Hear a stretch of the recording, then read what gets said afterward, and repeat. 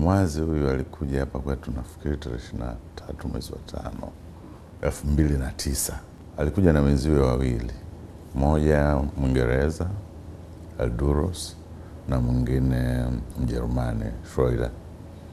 Wakaja wakawa wamelewa sana, wakawa wamelewa pale, wakawa wanatumia lugha chafu, wanatukana wahudumu wetu, maafisa wetu wa uhamiaji.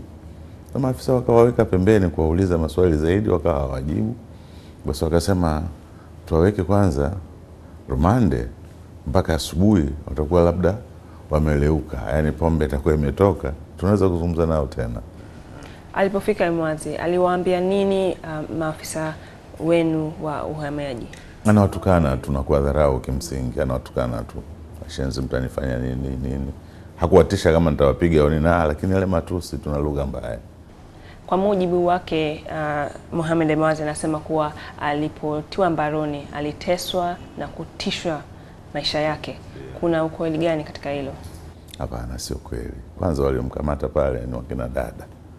Kuna dada mmoja alimkamata pale, akamuuliza maswali akashindwa kujibu, akamwambia mwekeni ndani. Sasa hakuna aliomtesa, hawezi kumpiga dada, hawezi kupiga mtu. Mlipata fununu, fununu yoyote kutoka uh, shirika la utelijensia uh, wa Uingereza kuhusu uh, Hapana. Hapana, hatukupata taarifa kutoka shirika la Uingereza wala lolote, maana kama tungekuwa tumejua huyu bwana ni gaidi tungelimkamata. Sisi tumekuwa wahanga wa ugaidi nchi hii, tulipigwa mabomu hapa. Leo anakuja gaidi, sisi badala ya kumkamata tunamfukuza? Haiwezekani.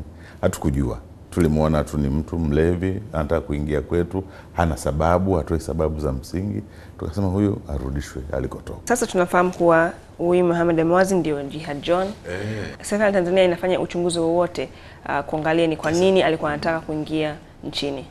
Baada ya kugundua haya kwamba huyu bwana ndio huyu, kwanza tunasema la, tungejua wakati ule tungekuwa labda tatizo ya mambo aliyofanya sasa asingeyafanya, maana tungekuwa tumeshamkamata.